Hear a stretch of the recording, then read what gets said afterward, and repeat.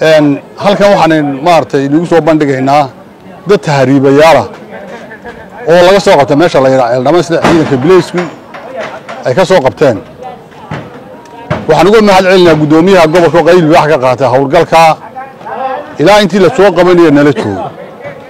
Tahriibayaashaasi waxay noqdeen masiibo lagu soo kordhiya dalka ku soo biiray. Waxay ka soo galaan xadka etoobiya awal dhinaca bariga ayay u gudbi jireen. Iminkana waxay damceen gobolka saaxil xeebihiisa inay ka dhoofaan. Taa daraaddeed baanu ka howlgallay ciidanka bilayska ee gobolka iyo maamulka iyo degmada dhammaan iyo socdaalkaba. Waxaan uga howlgallay sidii aanu uga joojin lahaday inaynan gobolka iyagu noqonin xero tahriibeed oo dadka laga tahriibiyo somalilan ayaa qabatay in ka badan boqol tahriibayaal sifo sharci dara loogu dhoofinaya dalka ciidamada booliiska somalilan ee gobolka saaxiil ayaa howlgal ay sameeyeen waxay gacanta ku soo dhigeen tahriibayaal laga dhoofinaya deegaanka ceel dhamasleh oo dhinaca bari ka xiga magaalada berbere ee xarunta gobolka saaxil. Maamulka gobolka saaxiil iyo taliyayaasha ciidamada ayaa si wada jira uga hadlay dhacdadan tahriibayaala oo laga soo qabtay ceel dhamasle goob la yidhaahdo mar kadib markii howlgal boolisku ugu baxay shalaytood siddeeddii subaxnimo? Saddexdii habeennimona keenay boqol iyo laba qof oo tahriibayaal etoobiyaan ah oo goobtaa la dhigay kadibna la doonayay in laga tahriibiyo badda. Inta u dhaxaysa ceel daraad iyo berbera. Dadkaasu waxay ka soo bixi timeen etoobiya muddo bila bay jidka ku soo jireen halkii ay ka soo bilaabeen socodka ilaa halkan lagu soo qabtay dhib badan baa ka muuqata. Muddo badan bay jileec fara badan baa ka muuqda. Howlgal weyn oo gobol ahaan la sameeyey. Qaybta koowaadna ay boolisku ka yihiin ayaa lagu soo qabatay. Hadda waxaa dib loogu celinayaa waddankoodii waa boqol iyo laba qof. Lix iyo toddobaatan ragah iyo lix iyo labaatan dumarah halkan waxaan maaragtay inagu soo bandhigaynaa dad tahriibayaala oo laga soo qabta meesha la yidhaha ceeldhama sida ciidanka bileysku ay ka soo qabteen. Waxaan uga mahad celinayaa guddoomiyaha gobolka qayl wax ka qaatay howlgalka. Ilaa intii la soo qabanaya nala joogo.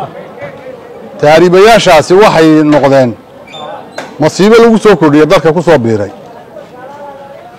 Waxay ka soo galaan xadka etoobiya awal dhinaca bariga ayay u gudbi jireen. Iminkana waxay damceen gobolka saaxil xeebihiisa inay ka dhoofaan taa daraaddeed baanu ka howlgallay ciidanka bilayska ee gobolka iyo maamulka iyo degmada dhammaan iyo socdaalkaba waxaan uga howlgallay sidii aanu uga joojin lahaday inaynan gobolka iyagu noqonin xero tahriibeed oo dadka laga tahriibiyo. Waanan ka digaynaa inaynan cid dambe isku dayin inay isku soo daydo halkan inay ka tallaabo sharcigana waanu ka qaadayna. Tirada aanu soo qabannay dadkaa tahriibayaashii waxa weeyaan waa boqol iyo laba qof lix iyo labaatan dumar ah iyo lix iyo toddobaatan raga iskugu jira.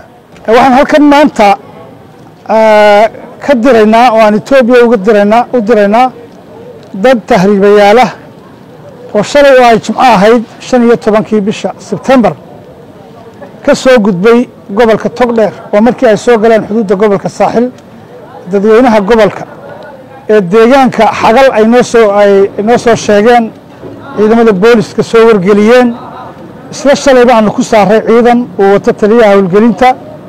Nasiib wanaag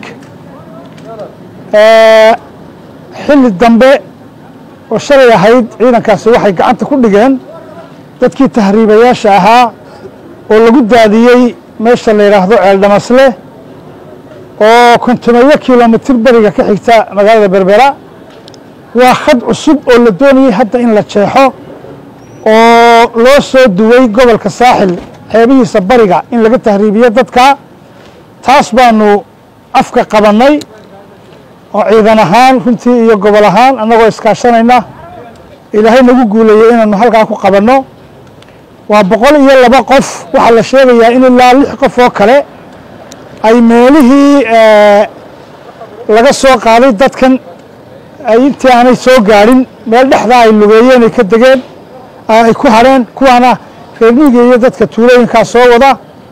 Boqol iyo labadaa qofeena la soo gaadhsiiyey shalay ciidanku soo qabtay. Lix iyo toddobaatan waa rag dhallinyaro ah.